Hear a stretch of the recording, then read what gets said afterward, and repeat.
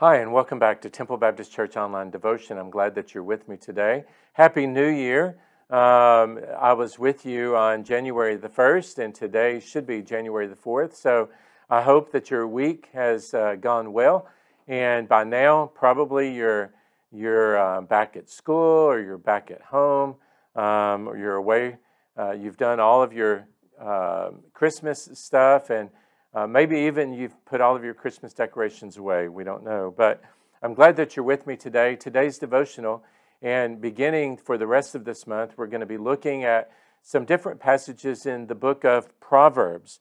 Um, Proverbs has 31 chapters, and so literally um, every day you could take one of these Proverbs and read it and uh, get something out of it for God to work um, on your heart with over the course of that day.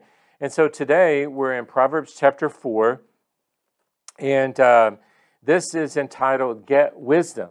And so let me just uh, read part of this passage to you.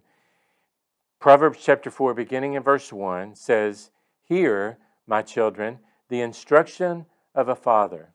God is our Father. If we're in Jesus Christ, then God is our Father. He is our Heavenly Father, and we're able to come before Him and He does give us instruction, and His Holy Spirit helps us to take the instruction of His Word and apply it to our life. Hear, my children, the instruction of a father. Let your heart retain my words, keep my commands, and live. Get wisdom, get understanding.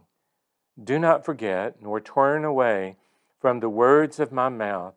Do not forsake her and she will preserve you. Love her, that is wisdom, and she will keep you. You know, for the person who takes the Word of God and applies it to their life, whether they are new at reading through the Scripture or whether they have done it over and over again. I, have met people over the course of my life that have never ever ridden, ridden never ever read through the Bible.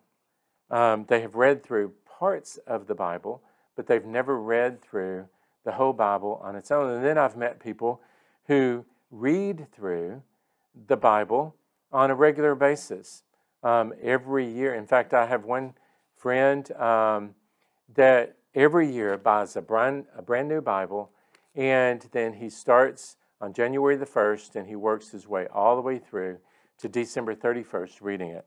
God's Word is His wisdom given to us. And as we take that wisdom and apply it to our life, um, the Holy Spirit uses that to mold and shape us to make us more like Jesus Christ, God's Son. Everybody should have as their goal to become more Christ like in all things. And when we're striving for that Christlikeness, we are pleasing unto the Lord. Let me read this passage again to you. Hear, my children, the instruction of a father. Let your heart retain my words, keep my commands, and live. Get wisdom and get understanding. Do not forget, nor turn away from the words of my mouth, for, excuse me, do not forsake her and she will preserve you. Love her, and she will keep you. God's word is strong and mighty. It's inspired by Him, it's flawless in every way. Take it, use it, read it, study it, pray over it, and have it as your guide over the course of your day, over the course of your week, over the course of your year, over the course of your life and you will grow in your relationship with God the Father. At Temple Baptist Church, we'd love to help you with that. If you don't have a church home, we invite you to come and join us here. We meet on Sundays at 8 a.m. and 10 a.m., again at 6 p.m., and on Wednesday nights at 7.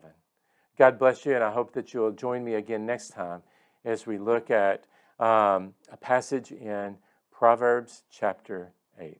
See you then.